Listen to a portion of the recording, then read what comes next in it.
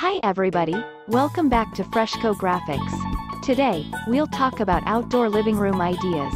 Hopefully, the pictures presented will provide inspiration for all of you. Let's just get started.